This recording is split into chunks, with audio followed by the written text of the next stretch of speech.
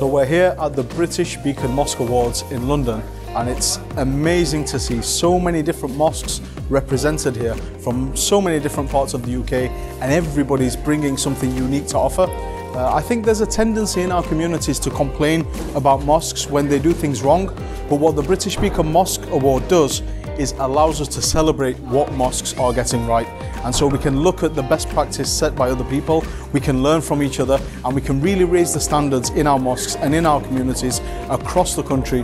One of the things what happens here is that mosques are recognized for their achievements and demonstrating that they're able to revive the Medini, the Medina model of the mosque of the Prophet Muhammad, peace and blessings be upon him. And it's great to see mosques being awarded for their female uh, activities and services, for their outreach to the wider society in general, for the service what they do in their mosques amongst their congregations. And mosque traditionally means masjid, a place of prostration.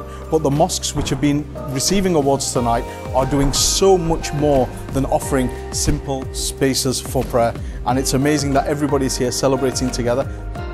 And the winner for the best outreach program is Finsbury Park Mosque.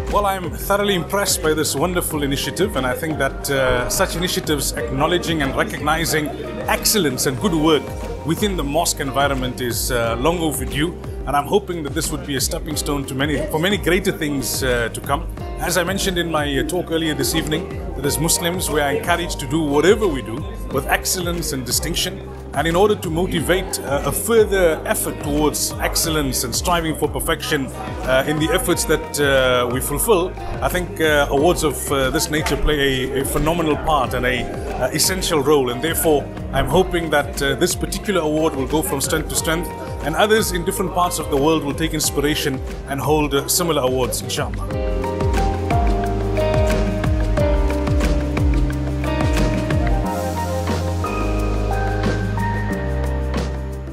Mosque Awards event was truly uplifting and encouraging.